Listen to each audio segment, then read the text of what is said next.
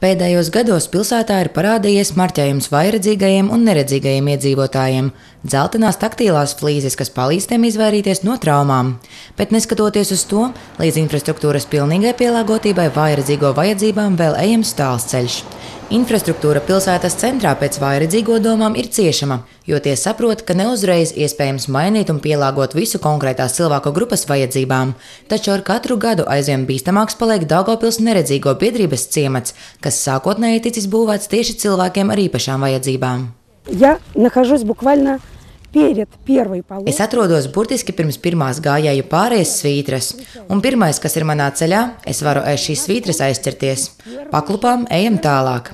Šīm strīpām jābūt baltām, un tās ir pastāvīgi jāatjauno, jo daudzi invalīdi uz tām skatās.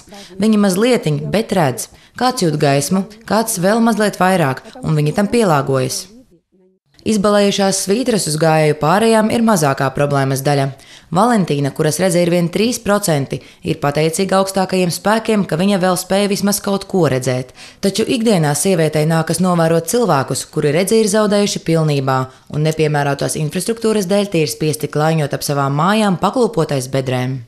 То, что мы видим перед вами, так называемый... Un tas, ko mēs redzam mūsu priekšā, tā sauktais trotuārs, tas ir trakāk par ātomkaru. Pilna trotuāra remonta, manuprāt, nekad nav bijis. Cik ilgi es te jau dzīvoju? No 83. gada. Nāsmu redzējusi. Varbūt bedres lāpa iet ciet maziņās, un tās pazuda, bet tas bija sen, un pēdējo remontu nav iespējams atcerēties. Lūk, mēs ejam, neredzīgais grib iet gar asfalta apmali. Viņš tausta ceļu ar kociņu, un kas ir viņa ceļā? Redz, kur viena bedre, redz, kur otra, ejam tālāk. Redzīgajam cilvēkam bedre uz ceļa nenozīmē neko, taču neredzīgajam tā sagādā potenciālu veselības apdraudējumu. Orientēties palīdzot roku balsti, taču arī tie nav uzstādīti visā ciemata teritorijā. Piemēram, man vajag iznest miskasti, bet pats es to nevaru izdarīt. Gribētos, lai arī uzliek roku balstus. Ciematā dzīvo aptuveni 50 cilvēki ar nopietniem redzes traucējumiem. Viņu ērtībām te ir atvērts rehabilitācijas centrs, kur var nodarboties ar sportu, pīšanu, piedalīties mākslinieckās pašdarbības pulciņos un apmeklēt bibliotēku. Taču ceļš no mājām līdz šim centram arī ir pilns šķēršļu.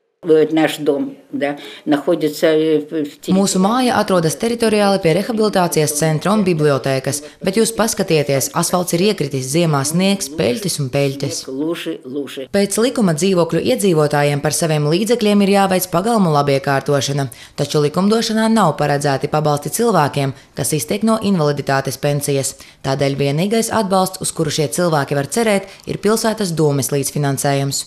Tas var sastādīt līdz pat 80%, nepārsniedzot 10 000 eiro robežu. Tomēr pagaidām pilsētas vadība neiesaka uzsākt remontdarbus. Lieta ir tāda, ka minētajā mikrorajonā nav lietus ūdens novadīšanas sistēmas, kanalizācijas. Līdz ar to nav liederīgi uz doto momentu veikt kapitāla remontu uh, pagalmiem. Uh, sakarā ar to, ka nebūs iespējams tehnoloģiski novadīt un pieslēgt lietus ūdens kanalizāciju. Uz doto momentu pašvaldība jau noslēgs līgums par būvprojekta izstrādē Čekura ielā posmā no 18. novembra ielas līdz Čekura ielā 8 kura ietvaros arī paredzēts izbūvēt lietus ūdens kanalizāciju. Un tikai tād būs liederīgi un racionāli veikt kapitāla remontu, varbūt arī ar pašvaldības palīdzību, nu minētajā mikrorajonu daudz dzīvokļu dzīvojamu māju pagalmos. Pavasarī ciematā ar pilsētas atbalstu tika iekārtots sajūtu parks, kur cilvēki šobrīd var atpūsties. Diemžēl gan sajūtas, nokļūstot līdz šim parkam, nav no patīkamākajām, jo iedzīvotāji ikdienu saskaras ar bailēm pazust vai iegūt nopietnas traumas vienkārši izējot no mājām.